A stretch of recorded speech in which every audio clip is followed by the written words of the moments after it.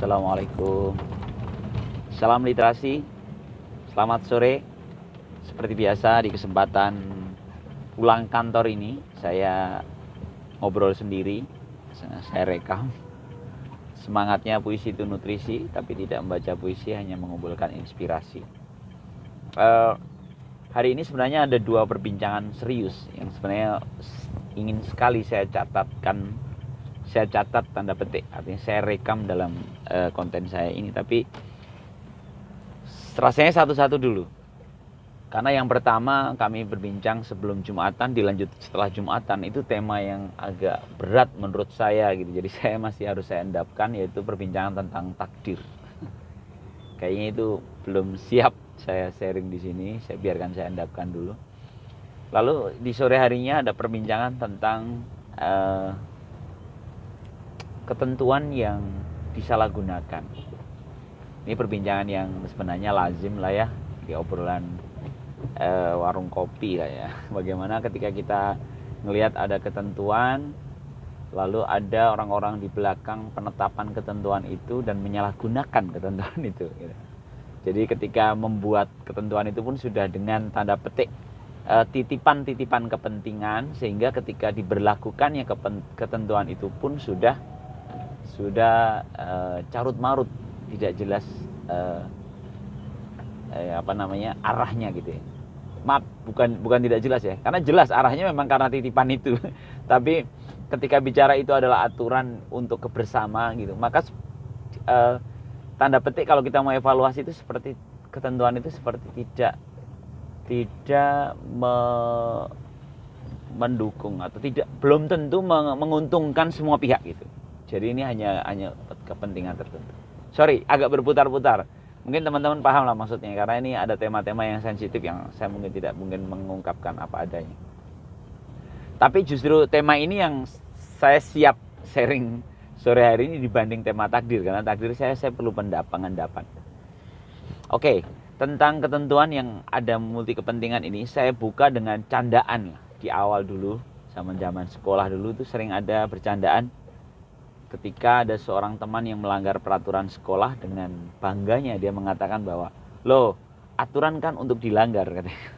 mungkin teman-teman ada juga yang sering mendengar istilah itu ya. Uh, dulu sih saya ketawa-ketawa aja mendengar itu tapi uh, di kemudian hari saya merasa bahwa ini ada ada kesalahan ya kesalahan yang serius ya. Bagaimana mungkin aturan dibuat untuk dilanggar gitu?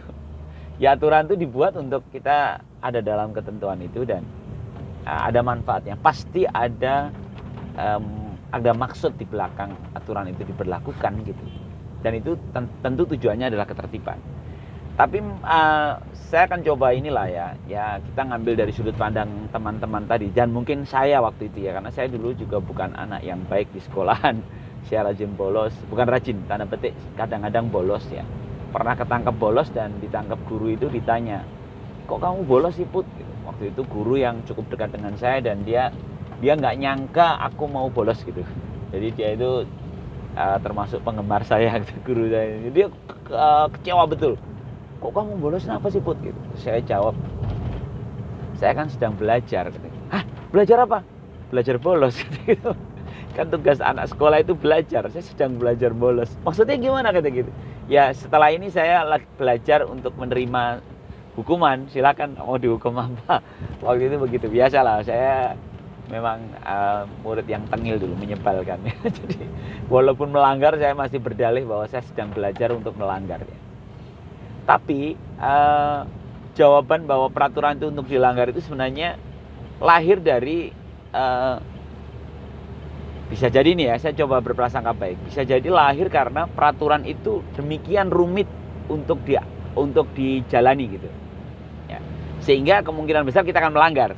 Sehingga wajar ketika ada kata-kata ya peraturan kan untuk dilanggar gitu. Karena saat peraturan diberlakukan bisa jadi gitu si siapa namanya yang diikat dalam aturan itu memang sulit untuk tidak melanggar gitu. Dan ini sebenarnya pernah saya tulis dalam satu puisi uh, judulnya itu atur atur langgar ya. Kok lupa saya atur langgar. Jadi bagaimana ada yang sibuk mengatur dan bagaimana ada yang sibuk melanggar gitu. uh, itu saya tulis waktu zaman di uh, di Temanggung ya. ya emang ada ada cerita di belakang itu sih belakang ya mirip sama yang tadi saya sampaikan jadi ketika si pembuat aturan itu sibuk membuat aturan sedemikian dia malah berharap aturan itu seperti jaring-jaring yang rapat gitu ya sehingga dapat menangkap banyak orang yang melanggar gitu nah tentu orang-orang yang diatur itu kan sibuk bagaimana bisa melanggar dan nggak ketangkep kan gitu nah inilah yang akhirnya menjadi ironi gitu bagaimana aturan dibuat memang untuk menangkap orang gitu. Aturan dibuat demikian rumit kalau perlu semakin banyak uh, aturan uh, semakin banyak apa ketentuannya yang mesti bisa menangkap orang sebanyak-banyaknya gitu. Seolah-olah begitu semangatnya. Dan ketika dia berhasil menangkap itu dia puas gitu. Hore, berhasil. Tuh kan kena kamu gitu. Seolah-olah begitu. Kan ini konyol nih sebenarnya. Bayangkan orang bikin aturan hanya untuk menangkap orang melanggar aturan gitu. Contoh yang konkret mungkin ini ya. Apa ya? Ya apa ya agak berat ngomongnya ya udah nantilah pelan-pelan kita pokoknya gitulah teman-teman kalau ada yang ngerasa bahwa eh ini aturan kok sulit banget sih untuk di, untuk tidak dilanggar akhirnya dia sibuk nyari bantuan mungkin seperti polisi di, ngumpet di belakang apa tuh di belakang pohon. Kalau ngelanggar langsung prit gitu.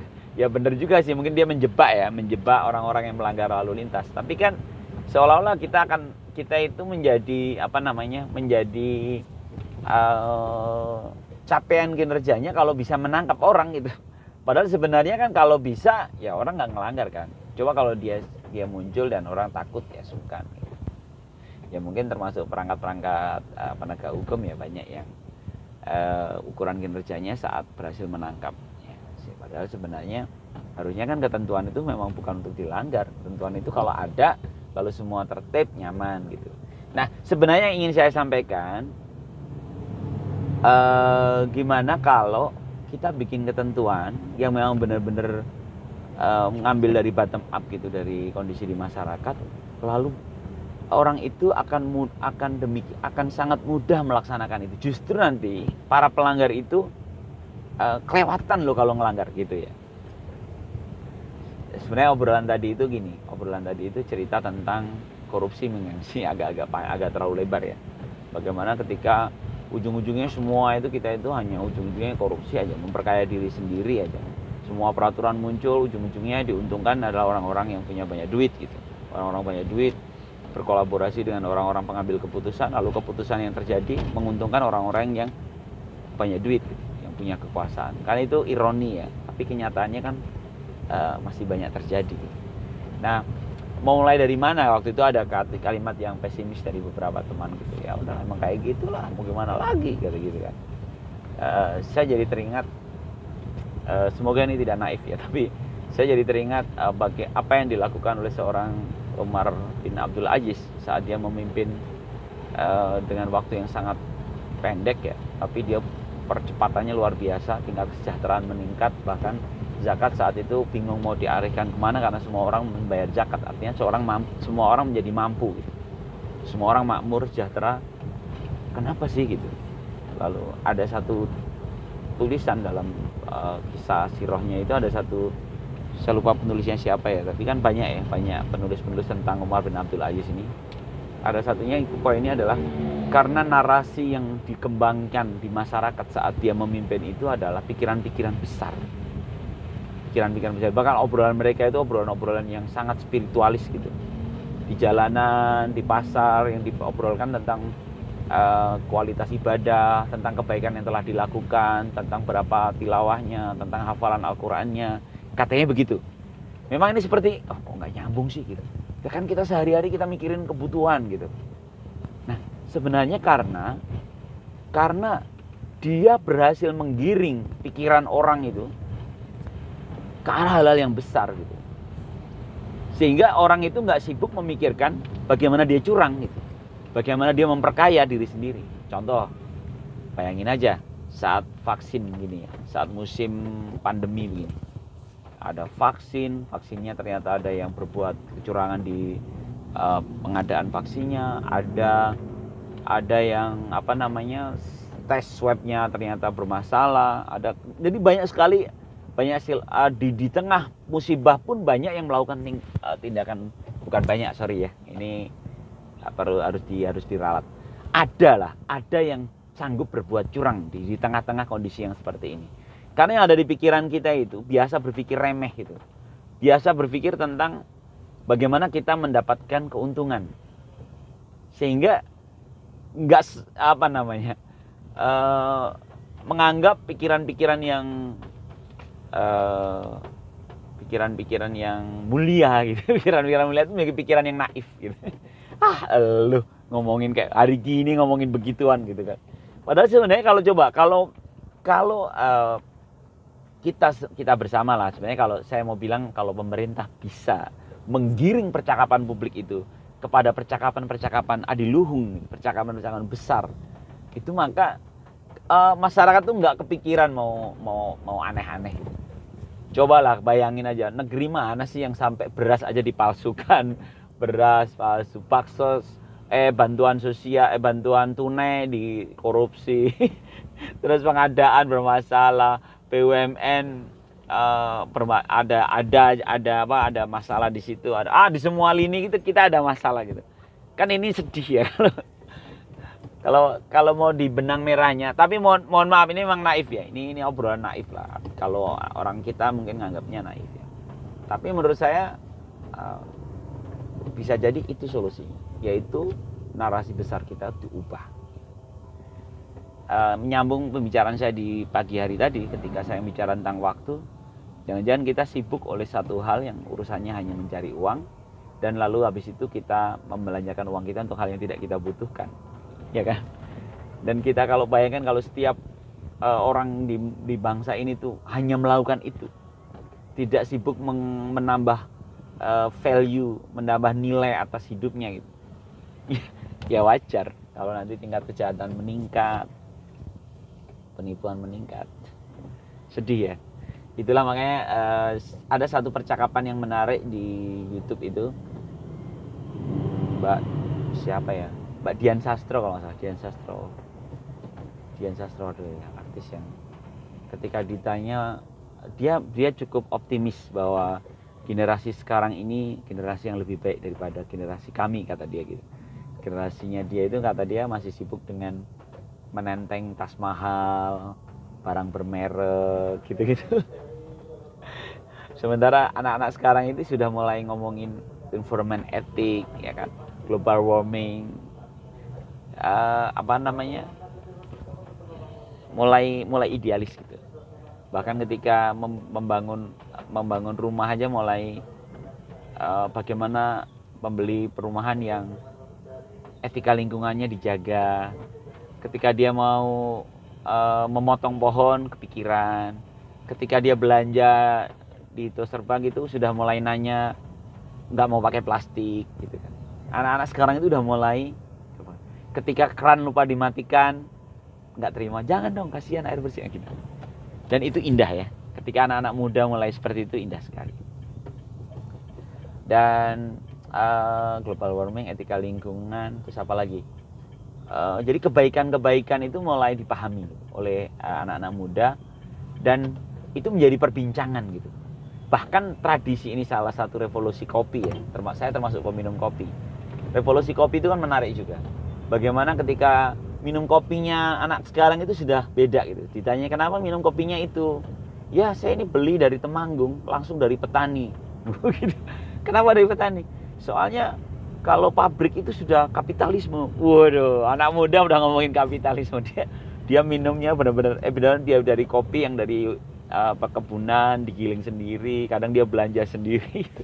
Bahkan ada kakak yang di Jogja itu sampai rokok pun sudah berhenti merokok dengan uh, pabrik gitu karena dia ngerasa di situ ada kapitalisme, di situ ada eksploitasi tenaga kerjanya.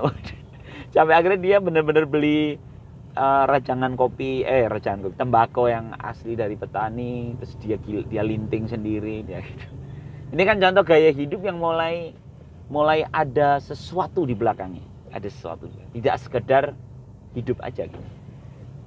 Dan nanti ketika akhirnya pipa-pipa komunikasi itu semakin terbuka, keran-keran informasi semakin terbuka, akhirnya pesan-pesan informan etik itu menjadi pesan-pesan etika lingkungan itu menjadi masif gitu. Uh, lalu pintu-pintu uh, mencari money mencari uang itu terbuka gitu. Anak muda nanti akhirnya semakin anak-anak muda yang idealis tadi semakin punya ruang untuk menikmati hidupnya. Mungkin nanti akan banyak anak-anak muda yang kerjaannya hanya nongkrong, ngopi, sambil membahas hal-hal besar gitu. Lalu dia mendapatkan uang dari itu. Sehingga dia tidak merasa menganggur walaupun dia ngobrol-ngobrol aja seolah-olah hanya ngobrol tapi yang dia perbincangkan adalah hal-hal besar. Kesannya itu ah itu mau bahaya itu ah, jadi generasi mager gitu. Ya mungkin tapi jangan salah mereka adalah orang-orang yang mulai mulai melepas dari sistem. Sistem yang tadi isinya orang yang sibuk habis waktunya untuk nyari uang gitu atau berbuat curang. Udah isi di kepalanya ya. Kalau gue kalau gimana nggak curang gue kalau semua orang curang gila kalau gue nggak curang gue nggak hidup nih gue nggak bisa beli rumah nih. Wah terus di kepalanya seperti itu lalu nanti setelah itu ngumpul duit banyak ya diskon kapan? Diskon kapan? Terus kemudian dia diskon belanja sebanyak banyaknya dia lupa gitu. Dia lupa kalau kalau dengan belanja sebanyak banyaknya itu dia menimbun bahan pokoknya itu jangan-jangan ada orang yang kebagian. Itu itu hampir nggak ada di pikiran pikiran aku. Saya pernah itu kan ada seorang yang belanja minyak uh, goreng jumlah banyak. Kenapa? Diskonnya banyak mas gitu. Gue bingung loh kan besok juga bisa jadi turun. Sekarang mungkin sekarang lagi diskon tapi besok jadi oh nanti besoknya naik loh pak. Mas gitu katanya gitu. Loh tapi kalau kamu saat diskon itu kamu beli banyak segitu ada nggak yang nggak kebagian? Jangan-jangan kalau ada pertanyaan seperti itu ngapain lo kok mikirnya ke situ sih mas? Nah gitu. Jangan-jangan kita disalahin. Padahal itu kan pikiran yang logik kan. Kalau harga harga itu kan bercandaan aja itu. Kadang naik kadang turun gitu. Yang salah itu justru ketika kamu nggak perlu kamu beli gitu dan ketika kamu nggak perlu dan kamu beli ada orang yang perlu dia nggak punya barang itu. Dan kita ikut adil dalam kelangkaan barang itu. Dan kita sedang zolim tapi kita tidak ngerasa zolim. Ngeri ya. Dan itu kadang-kadang nggak terbaca. Nah bisa jadi itu dirasakan oleh anak-anak yang mungkin lah ya ini aku hanya asumsi aja anak-anak yang nongkrong sana kemari ngobrolin hal-hal besar gitu seolah-olah nggak bermanfaat. Tapi bisa jadi dia mencari uang dari sisi yang lain dia membuka keran mungkin ikutan NFT metaverse karena dia canggih. Tapi setelah dia mulai kemampuan mencari uang yang bagus itu dia tidak lalu tidak lalu apa menjadi budak uang gitu. Karena dia punya ide, idealisme sendiri. Sehingga uh, tetap terjaga pikiran-pikiran besar itu. Mungkin menarik gitu, kalau lebih banyak orang seperti itu. Walau alam. Sorry ngomongnya agak panjang ternyata. Padahal saya nggak nyangka ini tema yang akan sepanjang ini terima kasih selamat sore. Salam literasi. Assalamualaikum warahmatullahi wabarakatuh